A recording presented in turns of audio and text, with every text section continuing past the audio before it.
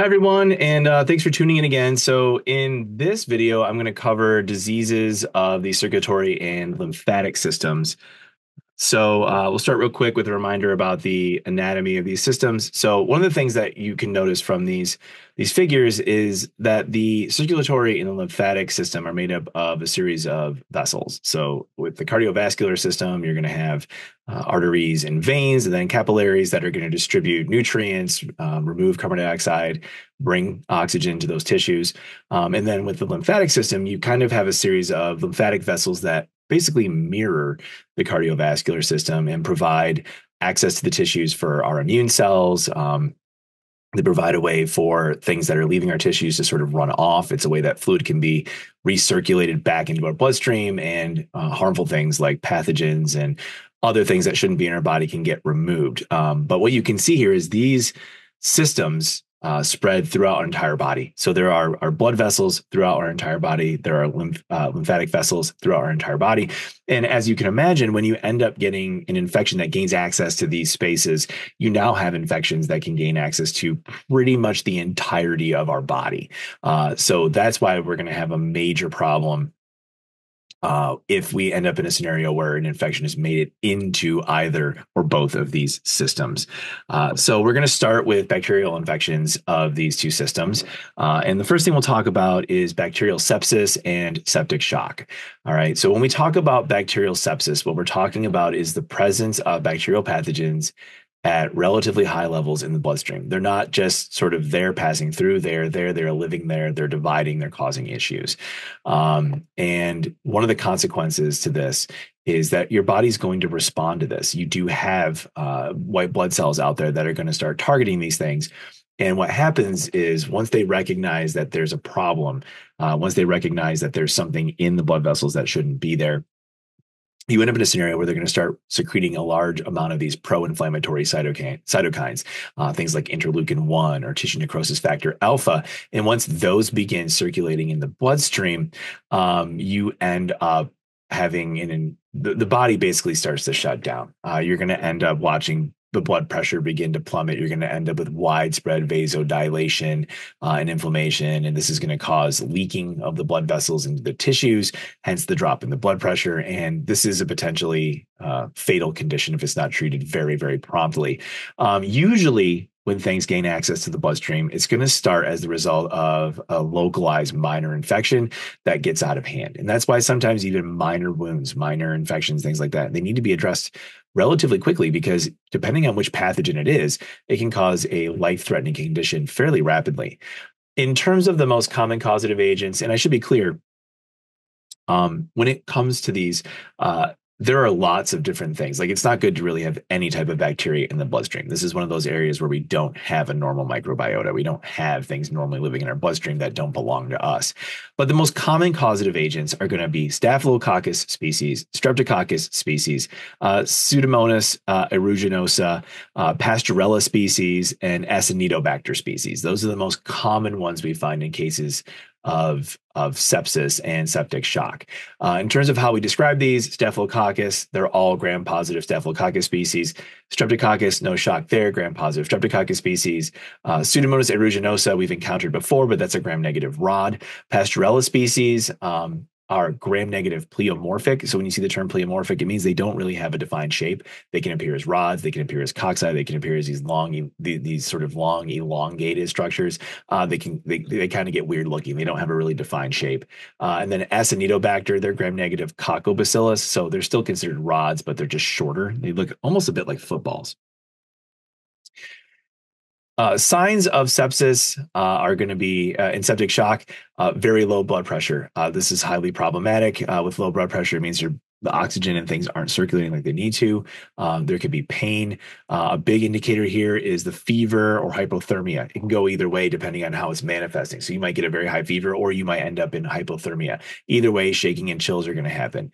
Um, because of all the antigen, uh, the antibodies, and and all that stuff going around, you could end up with blood clots. Uh, tachycardia is common in, in any type of shock. The heart rate increases to compensate for that low blood pressure. This is also going to go with rapid breathing because your body sensing that oxygen is not circulating appropriately. Actually, technically, physiologically speaking, your body is sensing that carbon dioxide is not being removed efficiently, um, but your body is going to increase breathing in an effort to get rid of that carbon dioxide and bring in the oxygen. Uh, skin is going to feel cool. It's going to appear pale, or it could appear mottled, which is like pale white with like like red sort of like um like patches in it. Um, heart palpitations are common. Uh, the uh, a person who's doing this probably going to have little to no urine output if they're going into shock because their body's shutting down, um, and of course they're going to be disoriented and confused because they're not getting enough oxygen to their brain and tissues like that. Um, in terms of transmission, as I mentioned before, sepsis, septic shock are usually the result of an existing infection. It's very rare that you just get an, infection in your bloodstream. Uh, very often it starts somewhere else, migrates there. Uh, the way you're going to diagnose this is you're going to take a blood culture and you're going to look for the presence of bacteria. As a reminder, there should not be bacteria in your bloodstream. There's no healthy, normal microbiota out there.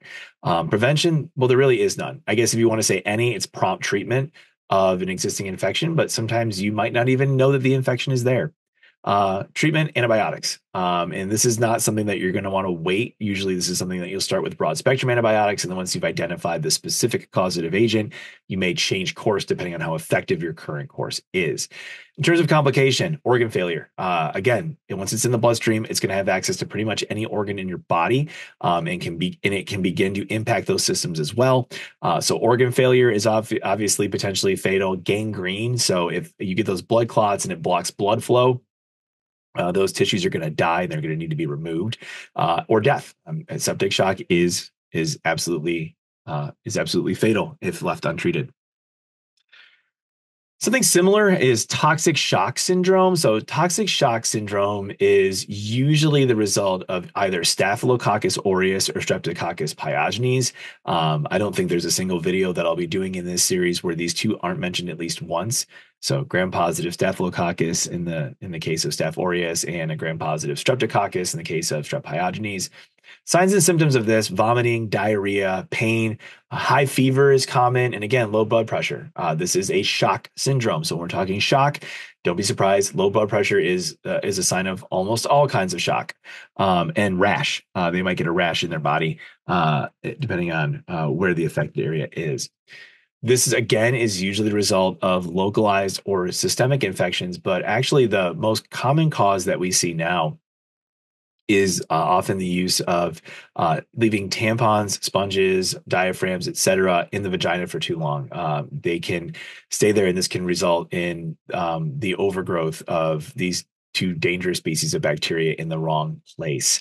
Um, the way we diagnose this, blood or urine cultures to detect the presence of either Staph aureus or Streptococcus pyogenes. You could also do tissue cultures uh, depending on the affected area. There really is no prevention. Um, if you any box of feminine care products uh, or any sort of uh, you know implanted device uh, that is used for reproductive care, such as sponges, diaphragms, they all have warnings on them to warn you that toxic shock can occur if these things are, are left in for too long, not treated appropriately. Uh, the treatment, antibiotics. Um, sometimes they use immunoglobulin treatment and then debridement, which is essentially the cutting away of dead tissue. So if if tissues begin to become necrotic, they're going to have to get removed. Otherwise, you risk the spread of the disease to other parts of the body. If left untreated, organ failure is a common outcome, and as well as uh, as well as death. Uh, this is a this is a life threatening condition as it can impact uh, multiple body systems. Osteomyelitis is actually an infection of the bone. Um, and there are several causative agents for this.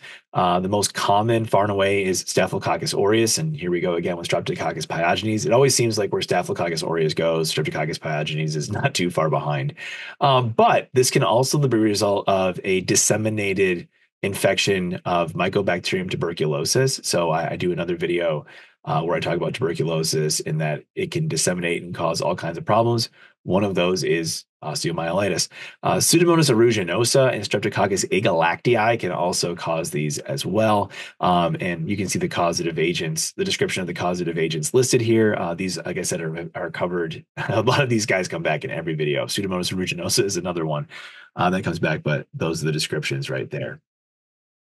In terms of signs and symptoms, um, you're going to have fever and chills. This is an infection. That this is a systemic infection, and for pretty much all of the infections you see in this video, you're going to find fever and chills. Right? This is a widespread problem, but you'll also have localized pain, and that localized pain is going to be at the area of the infected bone, as are the redness and swelling.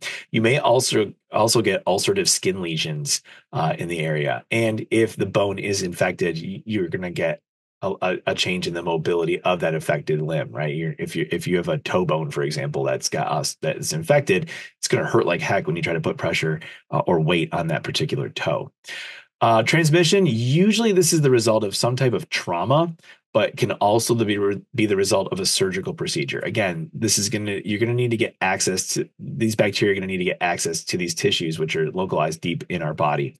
Uh, but it's also possible that the bacteria can spread from, spread from the bloodstream. So if you end up with sepsis, it can make it into the, into the bone as well and cause issues to diagnose this, you're going to want to do blood and bone cultures. So, uh, draw some blood, see if there's anything in the bloodstream, and then you're going to want to go to the affected bone and, and get cultures there. You may also uh, use radiography.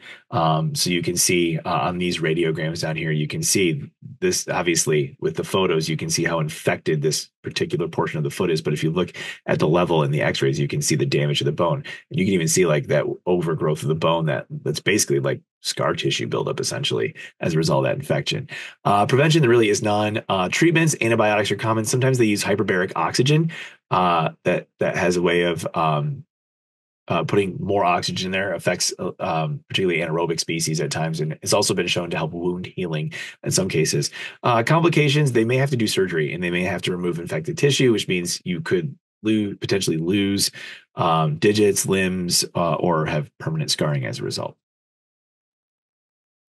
Okay, next up on the list is rheumatic fever. So, rheumatic fever is caused by Streptococcus pyogenes. So, uh, as I mentioned in a previous video uh, where we talk about bacterial pharyngitis, so this is in my uh, infections of the respiratory system, I talk a bit about Streptococcus pyogenes and streptococcal species in general, and basically say like if you don't treat these streptococcal infections, they can cause problems um, later on in life uh, if they remain in the body. And, and this is one of those cases. So, Streptococcus pyogenes is a very common causative agent for a lot of different infections. We've just talked about two or three today, um, but it's also a common cause of upper respiratory infections like strep throat.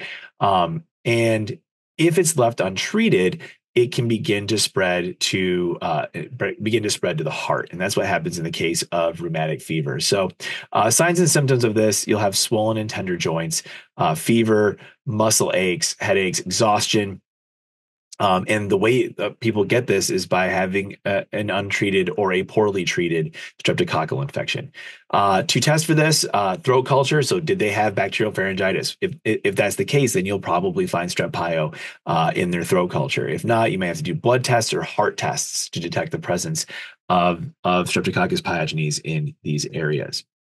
To prevent this, you need to make sure that you take all of the um, you need to take all of the medication that's been given to you. So if you have strep throat and you're given a 10 day course of something like azithromycin, you need to take it all the way through.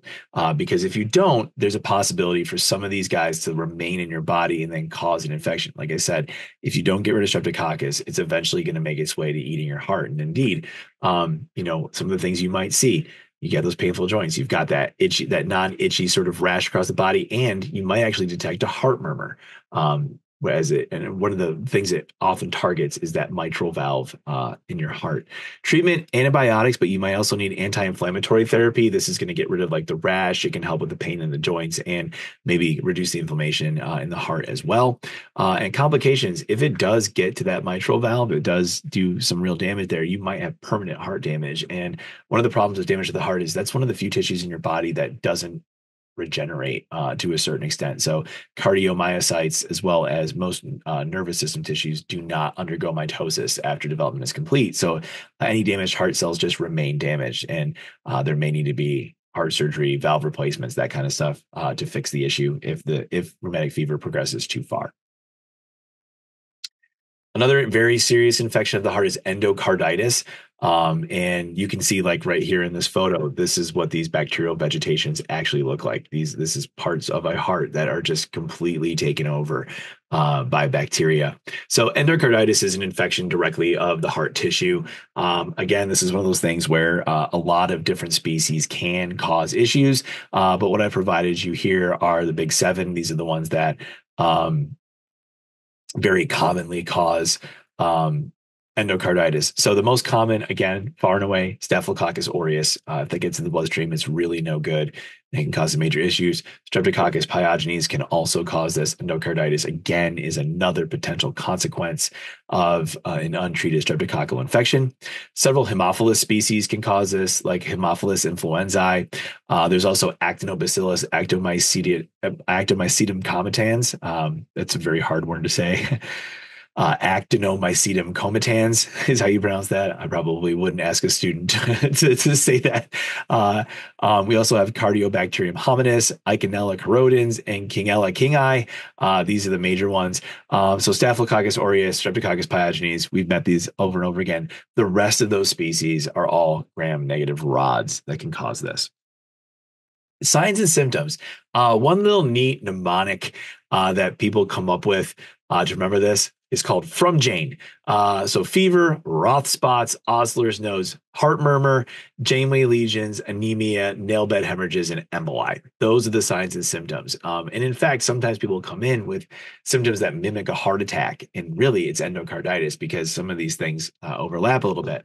But there are things that you're going to see with endocarditis that you're not going to see in a patient that's having a heart attack high fever. People that are having a heart attack do not have a high fever. In fact, they're cool and clammy uh, because the blood is not circulating very well. Um, you may end up with Roth spots. Uh, I have a picture of those in a little bit. Uh, those are actually spots in the eye. Osler's nodes are these uh, small little uh, uh, like swellings on the hand.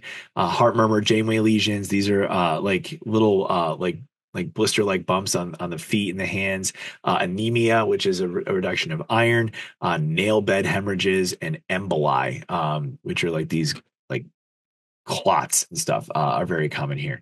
Uh, to diagnosis, you'll you're going to want to do blood cultures. You're also going to do an echocardiogram. You want to see what the heart's doing. It's going to be behaving erratically because it's infected. Uh, but if you've got these from Jane clinical symptoms, that's usually a very good indicator of what you're looking at when a patient comes in. Uh, this is going to come from endogenous bacteria in many cases. Um, and very often, endocarditis is the result of either dental or other invasive medical procedures. Uh, there is a reason if you if you have a root canal, if you have a tooth removed, or you have any other sort of dental procedures, they're almost always going to put you on prophylactic antibiotics because um, your mouth for is is highly highly uh, vascularized, meaning there's a lot of direct access to the bloodstream there. And as we've learned in, in previous videos, um, you have a lot of normal microbiota that's just in your mouth, in your oral pharynx, nasal pharynx, and they're fine there. Uh, but it's when you give them direct access to the bloodstream that they cause an issue. So uh, treatment for this more antibiotics. Uh, so we're going to want to get rid of this as soon as possible. And you're also there's also the possibility that um, heart surgery is going to be needed. You've got to cut away that infected tissue and repair any damage that is caused. Um, complications permanent heart damage. Uh, again those cardiomyocytes they do not grow back. So if they get damaged they're just it is what it is. Uh, and if it's not treated or if the treatment is is not sufficient people are probably going to die from this. You need your heart and if it's not functioning and it can't pump blood, then you're probably going to die. So, uh, moving away from the heart, let's talk about um, gas gangrene. So, gas gangrene is caused by a gram-positive rod called Clostridium perfringens. So, Clostridium species um, are are anaerobes. They they don't they don't love uh, to be around. So quite often they will actually form, uh, form endospores in aerobic environments. Great example would be like uh, uh, Clostridium tetani or Clostridium botulinum. But in the case of Clostridium perfringens, uh, Clostridium perfringens, same thing. So uh, when this gets into your body, uh, typically it's going to get in through trauma, uh, or something like a medical condition that can result in ischemia and also, you know, damage the tissue, preventing this from getting in. Um, signs and symptoms there's going to be extreme pain because this is going to uh, affect the deep tissues. You're going to get the death of muscle tissue, which is extraordinarily painful. Um, the wound is going to be foul smelling and contain gas bubbles. This is a result of the anaerobic metabolism uh, that is being performed by these Clostridium species. Uh, you'll also notice edema, which is swelling, uh, cutaneous blisters containing purplish blue fluids. So you can kind of see that here. There are also some, uh, I'll show you a pretty grotesque picture on the next slide of how bad this can actually look. Um, and diagnosis, uh, this is going to be gangrene is a clinical diagnosis. You don't need to like, hey, that's that's dying. That's a whole limb that's dying right there. So here's that picture I was talking about, and these are these black bullae, uh, as they call them, that are forming, and this is tissue that is extraordinarily necrotic and dying. Um, there's really no way to prevent this, um, but there is a way to treat it. So obviously, antibiotics. This is something that is going to go system wide. You need antibiotics to prevent the spread. But the other thing that's going to happen is these surgeons are getting ready to remove that dead tissue, um, and as a result, this could mean the loss of limbs. This could result in the loss of digits. This could result in permanent scarring and disfigurement as a result. Uh, if this continues to progress, septic shock is going to occur, and that's going to be fatal. So if this takes over, um, it's going to be fatal. Uh, another systemic infection caused by bacteria is uh, a disease called tularemia. So, tularemia is the result of a gram negative coccobacillus called Francisella tularensis. It's actually an intracellular bacterium. You can see uh, this is an electron micrograph. It's false colored, they're not really blue, um, but it's showing just one of these sort of um, like clusters of Francisella tularensis inside of a tissue. Uh, signs and symptoms. So you're going to see uh, granulomas begin forming in the liver and spleen, but you are also going to see skin lesions. Um, at the site of the infection, uh, fever, chills, headache, and extremely painful swollen lymph nodes. Uh, to diagnose this, you're going to want to do serology to test this. Now, transmission of this is, is, is this is actually one of the most infectious diseases on the planet. its infectious dose is right around 10 cells. So the infectious dose is the number of individual cells you typically need for an, an infection to establish itself. A lot of times this is measured in like the hundreds of thousands, or in the case of cholera, in the millions of cells needed to cause an infection. For uh, Francisella tularensis, it's like 10 you don't need to be exposed to much to get a full blown infection. So the way you get this is either through ingesting infected meat um, or handling of infected tissues. Um, rabbits are one of the species that very often carry this disease, and as a result, this the sort of a colloquial nickname for this is rabbit fever. Because people who handle rabbits, grow rabbits, um, have an increased rate of infection with this. Uh, you can also get it from the bite of an infected arthropod, such as a dog tick, the Lone Star tick, wood ticks, deer, uh, and deer flies can spread this as well, but it's it's not as, as common. There is no prevention for this, so there's no vaccination, and the treatment is with antibiotics. Now, um, this is this is a scary disease. This is one of those things where if you get diagnosed with this, you get to be in a room kind of by yourself in your own little wing of the hospital because this is not something that we want spreading, especially if it spreads very easily. Um, and it is potentially fatal, uh, especially if it gets into the lungs. So if it gets into the lungs, there's a 30 to 60% mortality rate associated with tularemia this is also i'll just note uh, for the people who are curious this is also one of those diseases that's um, labeled as a potential uh, bioterrorist threat. And that really comes down to the fact that its infectious dose is so low um, that it could be fairly easy to put a small amount of that onto something uh, and and uh, weaponize it. Uh, as far as i know there are no documented cases of that but it's definitely one of those that's sort of on that sort of like bioterrorist watch list Okay, moving on to brucellosis. So brucellosis is named after the Brucella species that cause it. Uh, so in that species is kind of specific to what its host species is. So, for example, with cattle and buffalo, it's Brucella abortus. For dogs, it's Brucella canis. For uh, for pigs, it's uh, Brucella suis, and for goat sheep and, and camels, it's Brucella melitensis. All right, so uh, any one of these species manifests the same disease. Uh, it is a gram-negative intracellular bacterium and it in the the the pattern of this is the way the disease sort of manifests is a bit interesting. Um, it's a bit like malaria, which we're going to meet in a few minutes, where you get this pattern of undulating fever. And that's because of the way the cells kind of go through these stages of like being in high numbers and then being in low numbers, being in high numbers, being in low numbers. And with that undulation of the fever, you get that undulation of the chills, the sweats, and the headache. Um, but throughout, you're going to experience fatigue, weakness, joint muscle pain, loss of appetite as a result.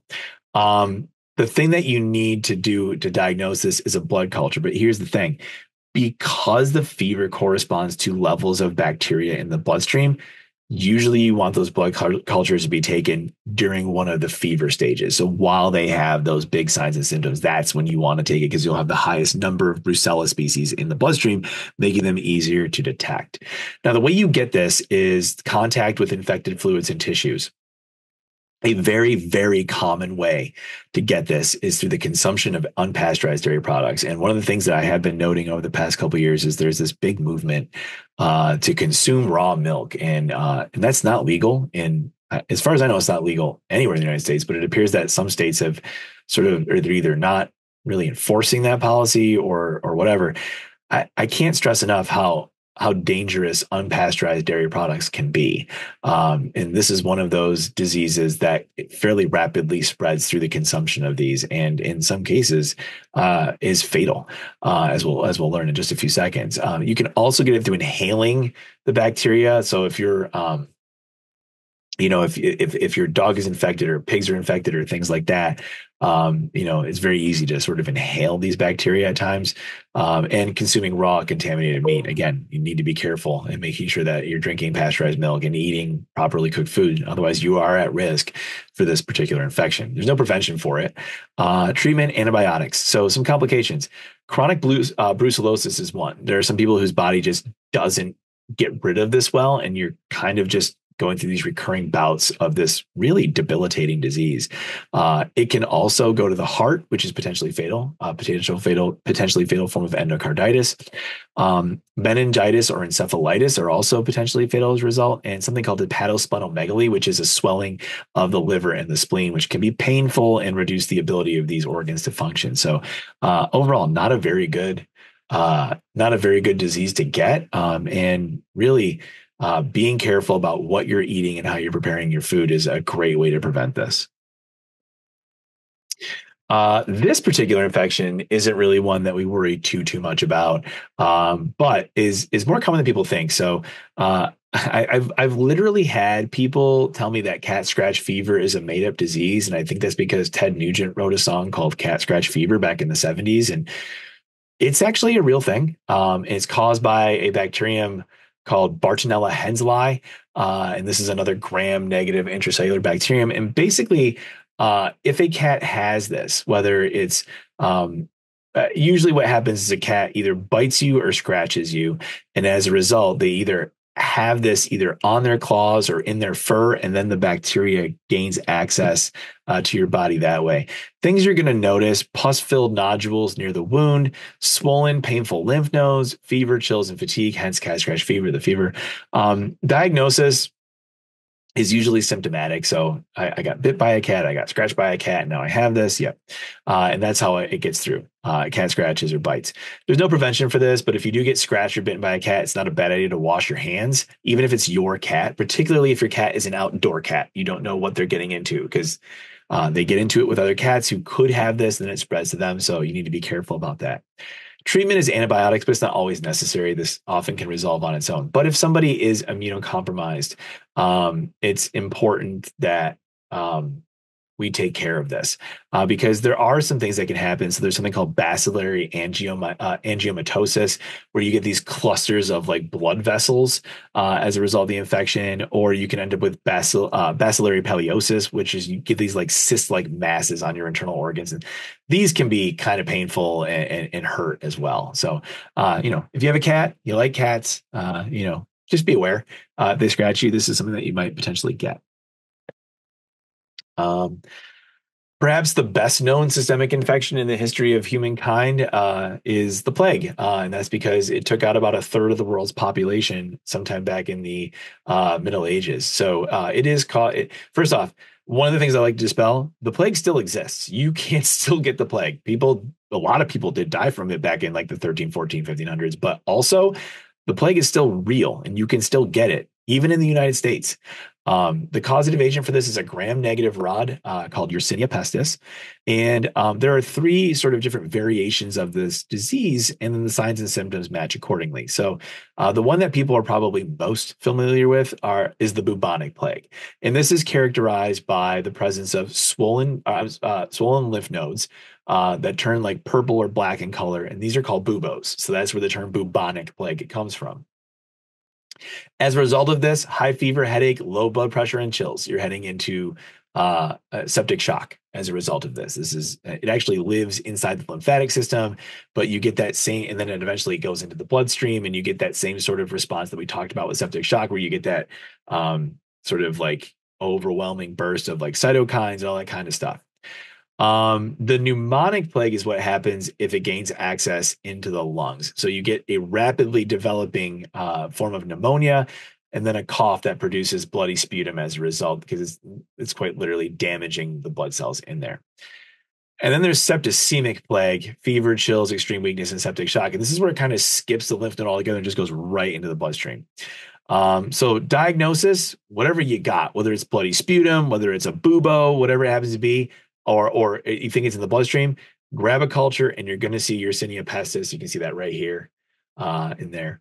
Um, and you will see that. So how do you get this? Well, it depends. The bubonic plague is spread through flea bites uh, from an infected uh, an infected flea. Okay, but you can also spread this to people in an aerosolized form, which is what's going to cause the pneumonic plague.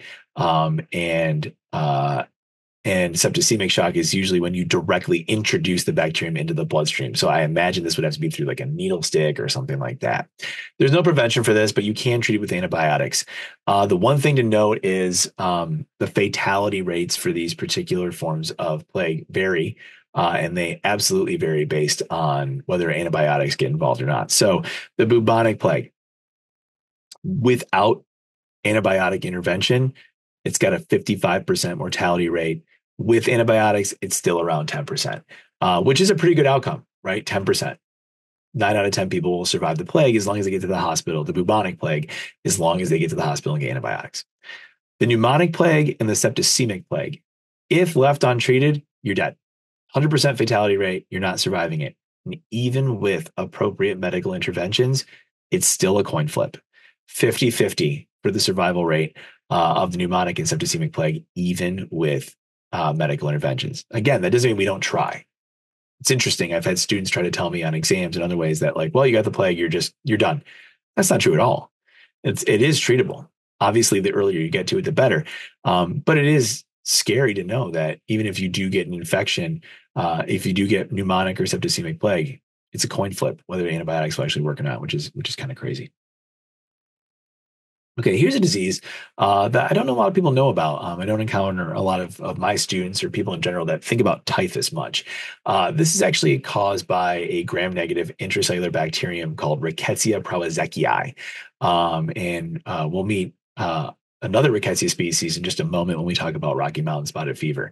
Uh, rickettsias are always gram-negative intracellular bacteria. One thing that's kind of interesting, if you're from a if you're a biologist like me, uh, the genus Rickettsii, not this species in particular, but the genus Rickettsia, they're the closest living relatives we have to whatever ancestral species gave rise to mitochondria uh, in all eukaryotic cells. So we kind of have like a weird sort of like evolutionarily evolutionary relationship to rickettsia species. Just sort of a tangent, but I do think it's interesting.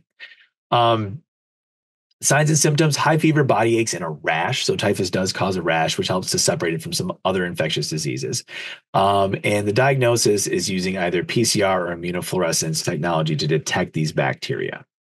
Uh, transmission is actually from lice, in particular Pediculus humanus, um, which is normal body lice that we find in humans. And there's no prevention for this, but the treatment is antibiotics. This actually spreads very, very rapidly in places where sanitation is poor, notably battlefields. Um, if you read up uh, historically about um, some of the major wars that happened in like the later half of the 19th century, uh, middle to later half of the 19th century, things like the American Civil War, um, the Spanish American War, uh, the Crimean War, the Napoleonic Wars in the 1800s, um, World War One, even World War Two. They were massive, massive typhus, typhus outbreaks um, that took out huge numbers of soldiers um, because this is a very potentially fatal illness.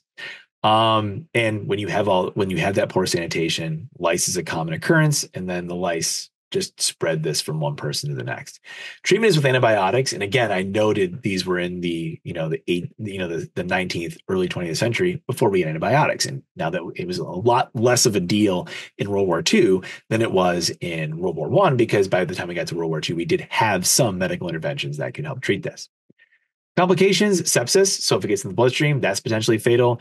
And there's also the possibility for it to either damage the heart or the brain. And both of those are also potentially fatal as well. So typhus, very not good. And it can spread uh, very rapidly through uh, through those lice. So, as I mentioned, Rocky Mountain spotted fever is another infectious disease caused by a Rickettsia species. So, this in this case, it's Rickettsia rickettsii. The name's so nice you have to say it twice. Uh, again, another gram-negative intracellular bacterium. Uh, and then the early signs and symptoms of this are going to be a high fever, headache, body aches, nausea, and vomiting. Then later on, in somewhere between 35 and 60% of patients, you'll get this petechial rash that you see here. Um, this is one of those diseases where you got to catch it early. Uh, if you catch it early, um, the treatment is usually effective but if you catch it too late, uh, RMSF can be fatal. So diagnosis is symptomatic. Um, you see these signs, you get these signs and symptoms. You got it, you know, a documented, uh, you, you know, you get a documented tick bite. You start to see these signs and symptoms. You, you probably know what you're dealing with, but you can also do fluorescence antibody staining of the rash, of a biopsy of the rash. You can also do PCR.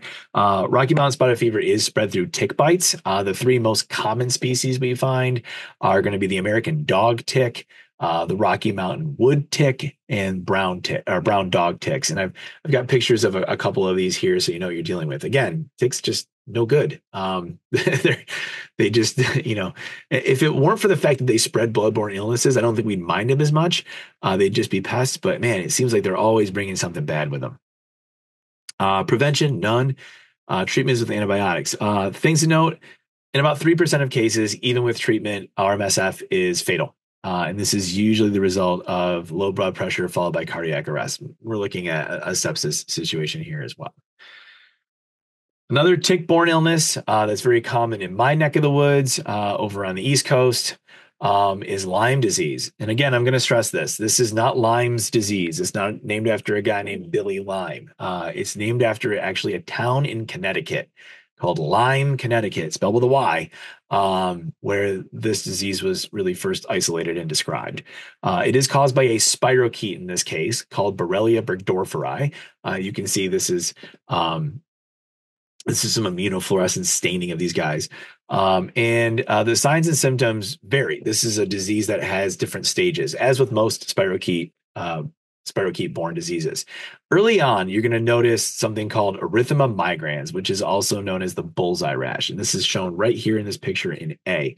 This happens in 70%, 70 to 80% of cases. So three quarters to, to, to, to four fifths of all cases are going to have this happen that does mean that in about 20 you know somewhere between 20 and 30% of cases you don't get this. The other thing is it depends on where you get bit where you got bit. You may not even notice this rash exists. So if it's in your hair you're not going to see this. Um, if it's in a part of the body that you don't readily observe you might not see this.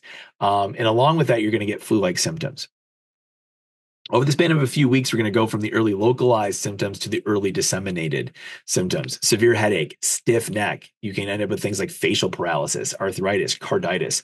Uh, these are problems.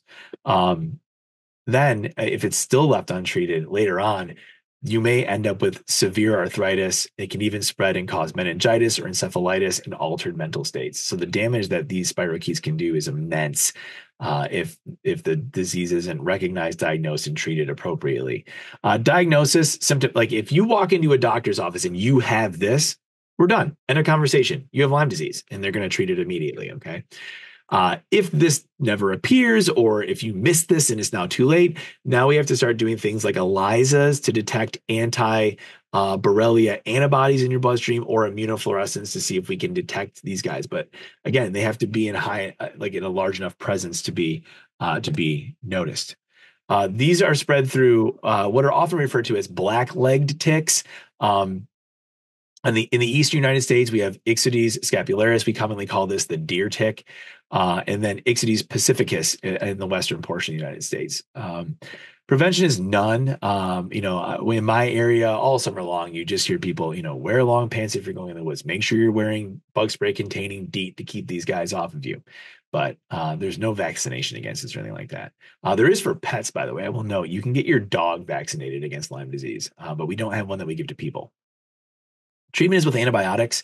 Uh, and then complications, uh, this is fatal if left untreated. It can be. Uh, and the other problem is, is uh, the lifelong sequelae that are associated with this. And just a reminder, the term sequelae refers to um, like signs and symptoms of a disease that remain after the disease has been treated and cured. Uh, so if this damages your your blood, your nervous system, if this damages certain tissues, they may never recover. Um, so you might end up with lifelong pain or lifelong uh, damage to tissues um, as a result of this infection, even if it's properly treated.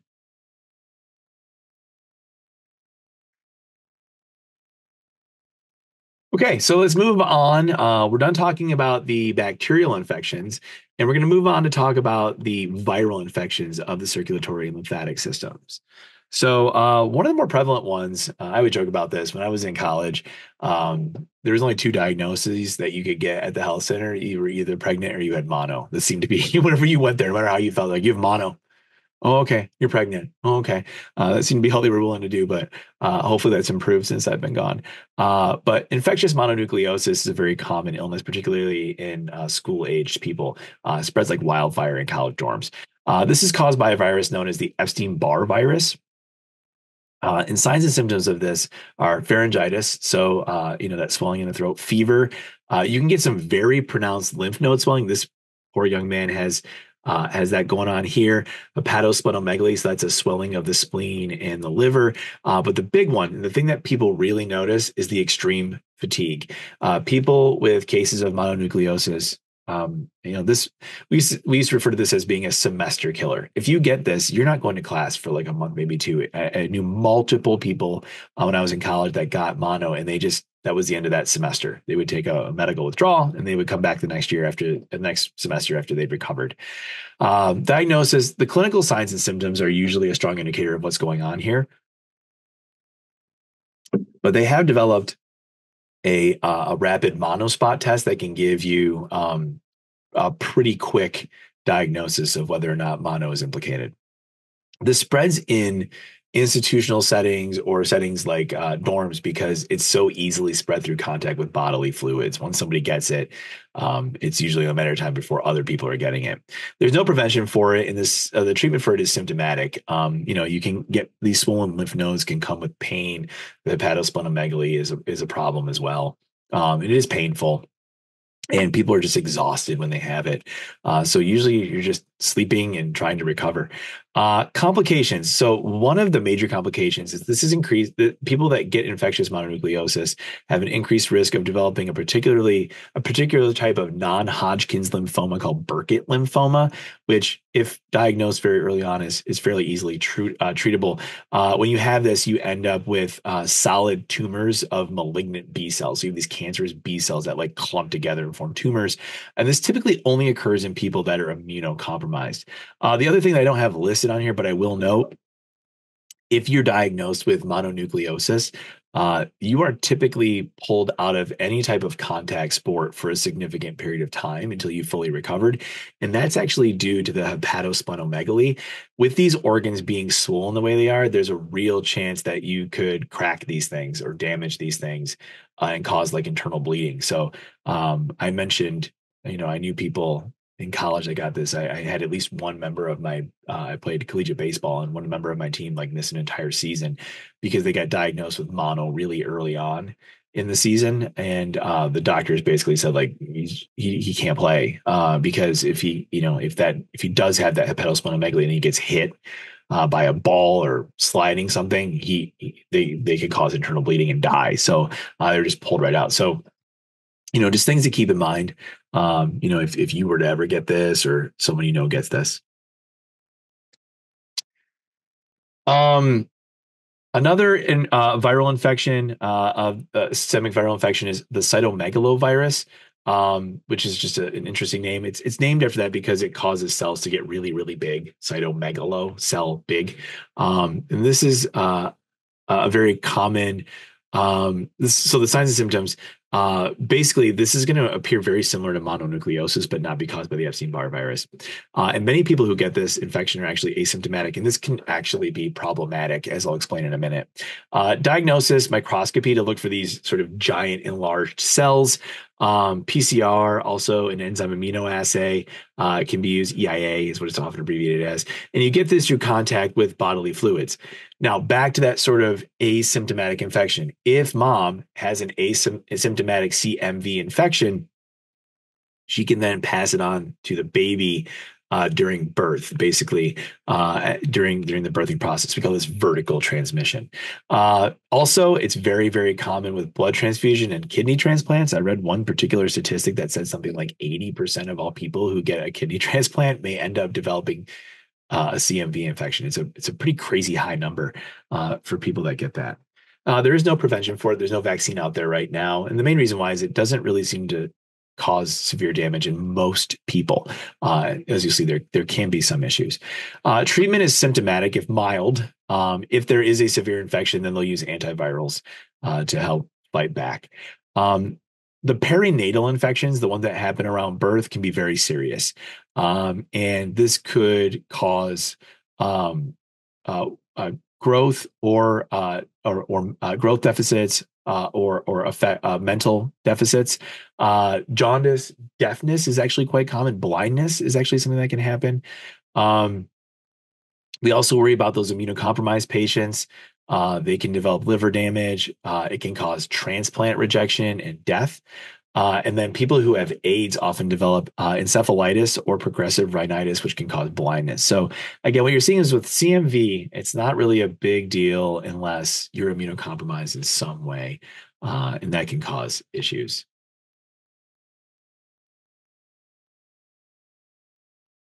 Okay, so let's move on to yellow fever. So, yellow fever is spread by the yellow fever virus. Um, I'm hoping all of you are recognizing that for a lot of these, it's pretty simple, right? It's just name the disease, what's the virus. Uh, so, signs and symptoms many people who develop uh, who get infected with yellow fever virus are asymptomatic, but uh, this is one of those diseases we don't hear about much more, but was actually a real problem, um, you know, 100 years ago or so, or so. Mild symptoms of the disease include dizziness, fever, chills, headache, and myalgia. So just generalized pain. Um, but in some cases, people develop severe infections, and this is going to result in flushing of the face, nausea, vomiting, severe fatigue, restlessness, and irritability are, are, very common signs. And you can see this little infographic does a nice job. And that yellow discoloration of the skin and the whites of the eyes, um, hence the term yellow fever. All right. Uh, diagnosis, uh, usually clinical uh, clinical based on signs and symptoms. This is spread through mosquito bites. So, this is one of those mosquito borne illnesses. And there actually is a yellow fever vaccine. Um, this is not a vaccine that uh, we we give out in the United States uh, because we don't basically yellow fever kind of doesn't exist in our country anymore because of uh, mosquito eradication programs that have basically gotten that out. Um, but there are other countries where yellow fever still continues to be an issue, and they do have vaccine for it. Treatment is symptomatic, um, and the complications in about seven and a half percent of cases, it's fatal uh, because there's really no antiviral treatment that's effective against it. So we just try to prevent it in places where it exists and where it doesn't exist, we we don't worry about it. Dengue fever is another one of uh, is a is actually a pretty terrifying disease. Um, it kind of goes up there with uh, with Ebola in some ways. Um, so dengue fever is caused by the dengue fever virus, uh, and it results in a, an incredibly high fever. So we're looking in that like 104 plus range uh, of fever, intense headaches, um, and then this is a hemorrhagic uh, a hemorrhagic disease. So you're going to get a rash, and then there'll be bleeding from the nose and gums, extreme muscle, joint, and bone pain uh, as this is happening as well. So this is uh, really problematic. Uh, diagnosis, serology, ELISA, RT-PCR are all ways that we can do this.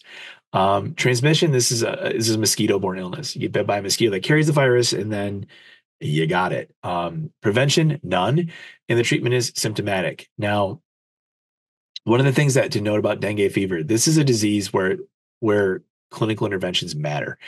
About 30% of people who develop dengue fever will die if they don't receive supportive treatment. If proper supportive care, care is provided, it drops to less than 1%. So you can see the, the value uh, that uh, medical interventions have for this particular illness. Another hemorrhagic fever uh, that is less severe is chikungunya. So chikungunya is caused by the chikungunya virus.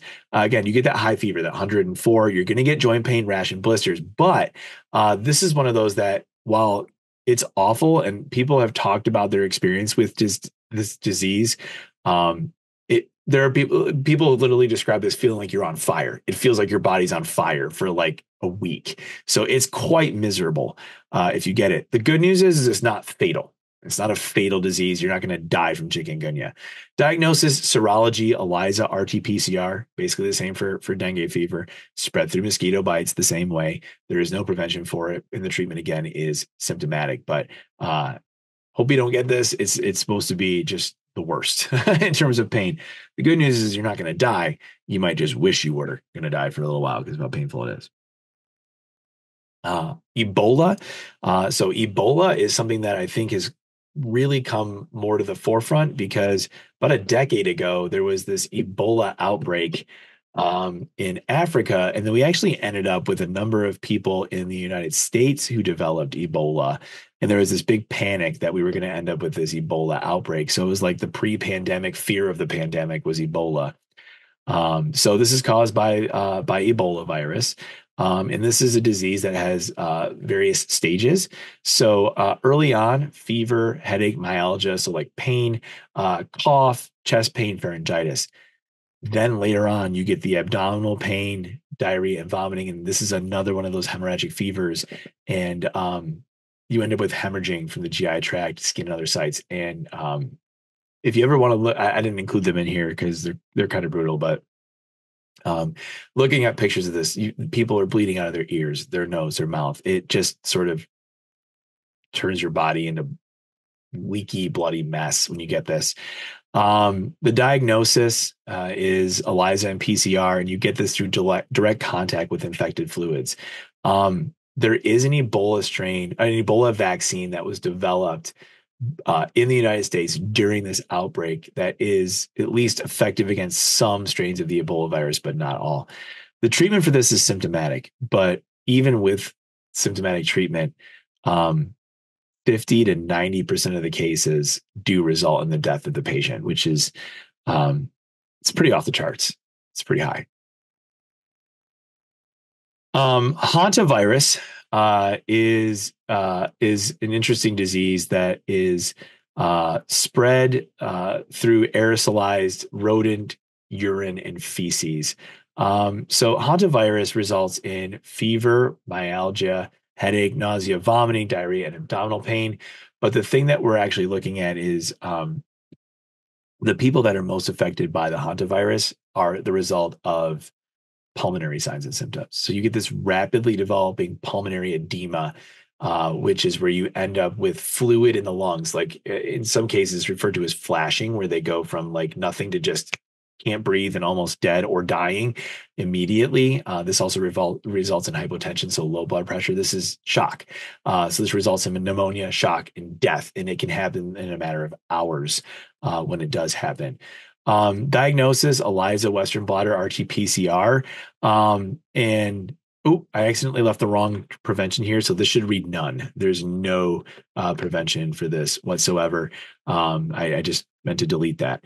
Uh, the treatment here is symptomatic and the complications in about 50% of cases the people infected through this are actually going to die so quick note pause the recording just so i could make that change so now you know there's no prevention for hantavirus i mistakenly left that on the slide when i when i made it so there's your update in live time Okay, moving on to HIV. So HIV, a lot of people don't know. There's actually two strains of, of HIV. There's HIV one and HIV two. Um, in the United States, HIV one is the only one that uh, that is documented here, uh, but both exist in on the continent of Africa. Um, so HIV infection goes in a few stages. Uh, so there's stage one, which is acute HIV infection, flu-like illness that lasts a few weeks. Uh, during this time period, you are incredibly contagious. So if you because um, the virus is really kind of at its highest levels in in your bloodstream um, at this stage and you'll see that this is what we're monitoring is the are these cd4 positive cells if you're curious what cd4 is it's it's um it's a receptor that's on the surface of a select group of of your blood cells, of your white blood cells. Uh, and this is really what we monitor. So at this stage, uh, there really won't be an impact on those CD4 positive cells because it's the beginning of the infection. So you'll have at least 500 CD4 positive uh, cells per microliter. Um, then your body kind of recognizes there an there's an infection and it begins to fight back. And at that rate, your viral load begins to drop. But it's going to start causing damage to those CD4 positive cells. And as a result, you're going to start seeing those levels drop. And um, that clinical latency, as long as that CD4 positive cell count is anywhere between 200 and 499 cells per microliter or better, um, you're okay. Um, and you will not notice any other signs and symptoms at this stage. And the big thing here is as long as we keep that CD4 positive cell count there with proper treatment, people can remain in this stage for the remainder of their life. And you know, as a as a, per- a person of a certain age, um, at, at, the time of this recording, I'm, I'm 41 years old. Um, you know, I've lived through the 90s um, when we were being taught about HIV. Um, and if you weren't there, I can tell you this was terrifying. Um, there was this new disease that developed in the 80s. People were talking about it. Um, there really was no way to observe this. There were no treatments out there. Um, if you if you got HIV, it was only a matter of time before you made it into stage three, which is AIDS, and then it was a matter of weeks to months before you die. Um, so it's very remarkable at this stage in my life where we can look at HIV infection as sort of being a chronic condition and not entirely fatal. Um, but I think it's important to realize that this only works with proper medical intervention.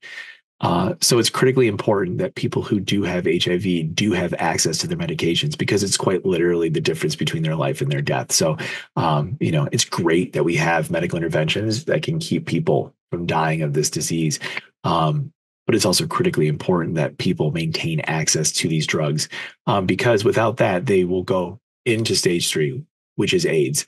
Um, and in this case, the, the the key diagnosis here is the, the key finding is that the CD4 positive cells are now below 200 cells per microliter. Um, the other thing to note is there are things called AIDS defining illnesses or ADIs that once you develop one of these things like um, like uh, Kaposi sarcoma, for example, or some other infections uh, that can also sort of be a, a, hallmark of that transition into AIDS. And at this point, uh, chills, fevers, sweats, swollen lymph glands, weakness, and weight loss. At this per at this point, the person's immune system is is essentially no longer functioning appropriately, and even things that wouldn't cause issues in normal people are going to cause issues. Um, diagnosis. So the primary diagnosis is usually through serological tests. There's some fairly quick tests that you can do, uh, and then they're going to confirm those using either Western blot or PCR, which are relying on the, the detection of direct detection of uh, HIV proteins or uh, PCR to look for the the HIV nucleic acids. Um, Transmission is contact with bodily fluids. So this is blood and and semen, uh, but not saliva. This is not something that's spread that way. Um, there is no vaccine for HIV right now, but Uh, one of the things we we do have available now that we didn't in the past is something called PrEP. So this is prophylactic antiviral therapy, and what we do know is that people who are not infected with HIV that are on this PrEP program have very, very, very little chance of acquiring um, HIV, even from an infected person or con- sexual contact with an infected person. So, um, this is something that's available to people who are in a that are high risk for for contracting HIV. Um, people, for example, who have partners who are HIV positive can go on PrEP, and that greatly reduces the chances of them being able to acquire that from their partner. Treatment for this is uh, a specific cocktail of antiretroviral therapy, um, and the complications, once you develop AIDS, it's fatal. Uh, so what this graph is showing here, I just want to just walk you through this real quick. Um, you've got a couple of things going on here. In blue, what we're looking at is the CD4 positive lymphocyte count. And you can see during the primary infection, uh, um, it's still very high, and then it drops down into that range here and then we get into that latent period um, here where it stays between like 200 and 500 at this point. Um, and again this could be indefinitely right um, but then what happens is uh, over time, you if if left untreated or the treatment is unsuccessful, you start to see that CD4 level plummet. And at the same time, this red graph here, this red line, is showing you the viral load. So you can see early on in the infection, high viral load, and this is why it's so um, so contagious at this point. But then it drops and it gets held in check by your body's immune system and then hopefully a combination of the immune system plus drugs to keep you in this latent phase. And then as that cd4 positive t cell count drops up goes the viral load. Uh, so a couple things you're going to be monitoring in any of your hiv patients or if you have hiv things that they're monitoring on you are going to be what is your cd4 positive cell count? How's your immune system doing versus what's that viral load? Is your body able to keep your viral load down? And there are cases where, um, with proper antiretroviral therapy, um, this viral load could basically be undetectable. Um, meaning you you do still have HIV, but it's so low that we literally can't detect the virus in your bloodstream. And um, at that point, your your body, as far as is concerned, is just normal and healthy.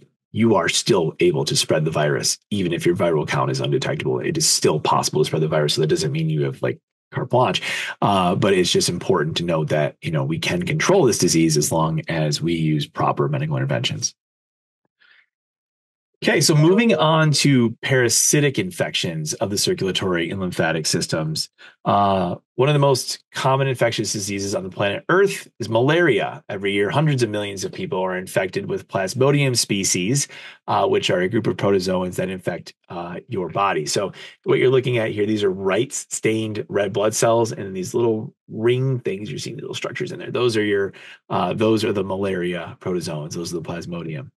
Um, what you get here are these extreme cycles of fever and chills. So uh, you can kind of see how this works here uh, on this chart. But you know, the liver cell gets infected, the plasmodium multiplies, it enters the bloodstream, it infects those red blood cells, and when it lyses those red blood cells, that's when you get the signs and symptoms. You get that you get that fever and you get that chill and then it goes back into the liver and kind of restarts the cycle and that's why this pattern undulates every when it's in the liver you don't notice the signs and symptoms. When it goes into the bloodstream and ruptures those red blood cells it, that's when you get the signs and symptoms. Uh, usually begin with malaise so this general feeling of like illness then you'll get abrupt chills fever and then you can get a rapid pulse um, headache myalgia, such as pain, nausea, and vomiting. Diagnosis: You do blood smears and you look for these ringed trophozoites in there. This is spread through mosquitoes. Uh, there is no prevention for it, um, and treatment is with anti-malarial drugs. Um, and this is potentially fatal. Uh, it was interesting. I had a student in my class a few years ago who was from Africa, and uh, you know he he he did us the favor of talking a bit about his experiences with malaria. And he's like, Yeah, I've had it a couple of times. And pretty much you just get it. Uh, in a lot of places, they kind of treat it like the flu. Uh, you know, you get it, it sucks, you feel lousy for a while, and then you get better. And in some cases, people don't. And that's the reality uh, for billions of people on the planet Earth. Uh, that malaria is just a fact of life. And you might get it and you might die. Um, so uh, it's crazy when you think about it. It's crazy, but uh, that is the reality.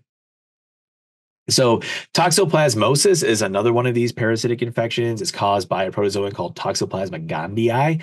Um, now, a lot of people who are infected with Toxoplasma gondii have no signs or symptoms. If you do, it's often similar to mononucleosis, so that like fatigue and and, and that kind of stuff. Um, now, what these do is they kind of form these cysts uh, so when you take tissue samples from infected people, you'll see these tissue cysts, and that'll give you an idea of what they what they've gotten. Um, so transmission of this is usually through infected cat feces. Uh, it can be in their litter, it can be on their fur, uh, that kind of stuff. Now, uh, this is one of those reasons. So when women get pregnant, um, they are often cautioned against continuing to change the cat litter and things like that uh, because there's a very real risk of this disease being spread to them. Uh, and this can actually cross the placental barrier and cause fetal abnormalities, premature birth, or miscarriage. Uh, so, an infected mother has about a one in three chance of having this happen. Uh, so, what that means basically is, um, you know, if you are carrying a baby, avoiding cat feces is a great idea uh, because there's a possibility that you can get it from there. Um, in terms of prevention, there is none. Treatment is with antiparasitics. All right. So again, there really isn't a lot to worry about unless you are severely immunocompromised or pregnant. Uh, other than that, you're probably going to be fine. Uh, and even if you do end up with an infection, you probably won't even notice it uh, with your signs and symptoms. Babesiosis is another one that often shows up. Um, there are lots of species of Babesia that can cause this. One of the most common is is Babesia microti. Um, and the signs and symptoms of this include uh, high fever, hemolytic anemia because of what it does to the blood cells. You can see here are more blood cells. A lot looks a lot like malaria, right? But these are the Babesia parasites. Um, one of the diagnoses, and you can't see it that well here, you might see it a bit here, is there's a bit of a Maltese cross pattern that happens um, uh, inside of these cells uh, to help diagnose that. Um, but it can also lead to jaundice and renal failure uh, as a result as well. Diagnosis, you do the blood smears. You're looking for these parasites in the bloodstream, and the transmission is with a tick bite. So quite often, um, the ticks that carry these are the same ticks that carry Lyme disease, which we met earlier on in this particular video. Um, and last I checked, the co-infection rate is about 20%. So in about one in five cases where you have Lyme disease, you also see babesiosis as a result because the same ticks are, are spreading the disease. No prevention for it. Treatment with this is antibiotics or antimalarials. Again, we're looking at the same kind of, it's a different species for sure, but it's a protozoan infection of the red blood cells. And as a result, the antimalarials seem to be effective and it is potentially fatal uh, depending on how much damage this particular disease does. Uh, Chagas disease. So Chagas disease is a bloodborne illness spread by um, the or caused by the protozoan Trypanosoma cruzi.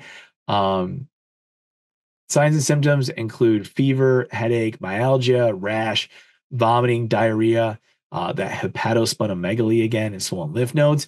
Uh, but one of the dead giveaway signs is called the Romaña sign. So where that bite happens uh, is uh, where you're going to see that swelling. Um, diagnosis is microscopy, serology, and PCR. This is spread by a group of bugs called triatomine bugs. They're also known as kissing bugs or assassin bugs. They're known as the kissing bug because they overwhelmingly seem to bite on the face or the neck. Uh, so it's like they're kissing you. Now the bite is completely painless. Um, but what you'll start to notice then is that localized swelling that occurs. That's that Romaña sign that we're talking about.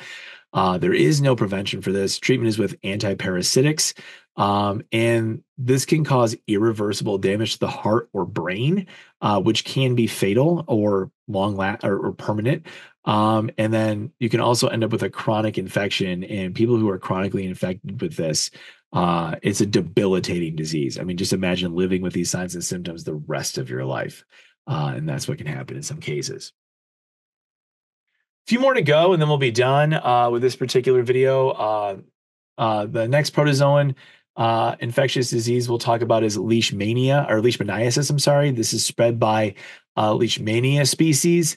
Um, when I say again, when I say species, I'm just there's lots of different members of this particular genus. Um, it comes in three different varieties. Uh, first is cutaneous. So if it's a cutaneous infection, you're often going to get these sores at the site of the bite.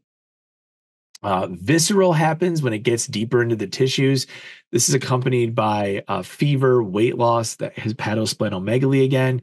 And then there are mucosal versions uh, where the lesions appear in your mucous membranes, like the inside of the mouth, uh, places like that. You can diagnose this by doing tissue species, I'm sorry, tissue smears to look for the leash, uh, leishmania here. Uh, and it's spread by sandflies. So this is a disease that's largely found in desert areas.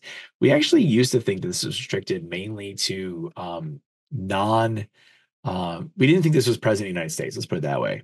Uh, we usually thought this was more prevalent in areas like um, Central Asia, the Middle East, places like that. Uh, but there is a reservoir uh, of uh, Leishmania species in the United States. So it is possible to get them mostly in those desert Southwest states like New Mexico, Arizona, uh, Nevada, um, some parts of Texas, California, things like that.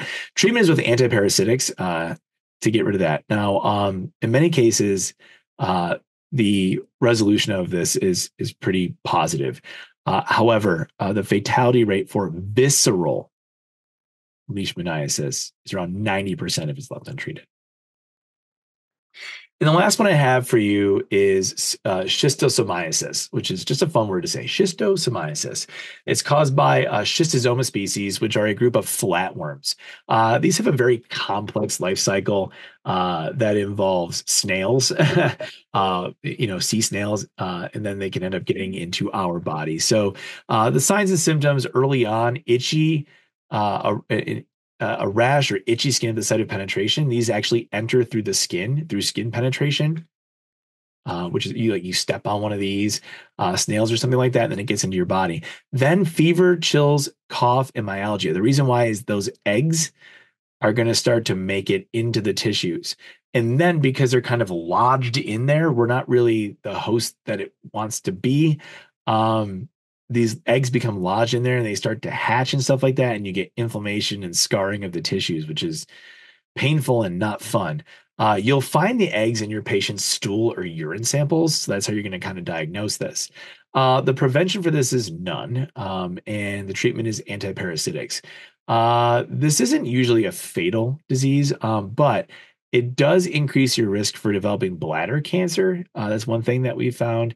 And in pregnant women, it does increase the rate of miscarriage. So, um, that about wraps it up for this conversation about systemic infections. I know this is a bit of a long video, but there are lots of things that can potentially harm us uh, once it gets into the circulatory lymphatic systems. And again, I'll just reiterate what I said at the beginning.